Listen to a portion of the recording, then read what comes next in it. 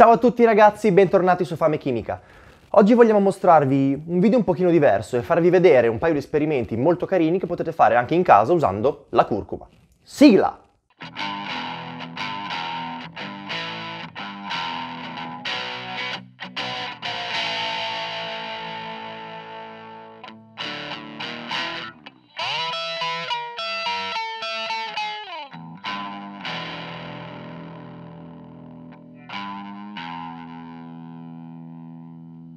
Per il primo esperimento servono curcuma, ovviamente, alcol, e in questo caso useremo della vodka, ma va bene qualsiasi superalcolico, ed una torcia UV.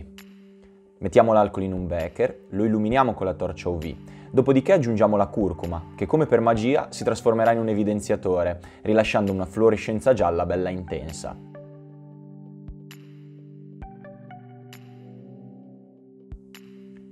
Il responsabile di questo fenomeno è una molecola chiamata curcumina, che assorbe l'energia luminosa della radiazione UV e passa nel suo stato eccitato. Lo stato eccitato è instabile e la molecola tende a tornare nel suo stato fondamentale. Per fare ciò dissipa energia sotto forma di radiazione visibile, sprigionando la fluorescenza che abbiamo appena visto.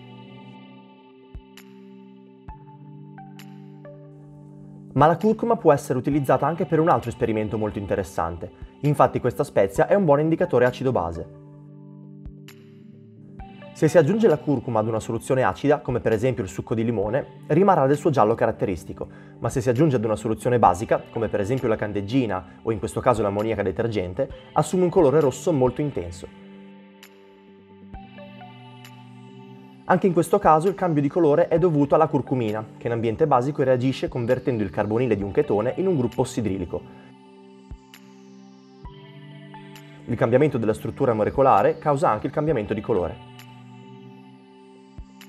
Bene, video rapido e indolore, questi erano due brevi esperimenti che potete fare anche in casa con la curcuma. Speriamo vi siano piaciuti e in caso ci vedremo al prossimo video di Fame Chimica.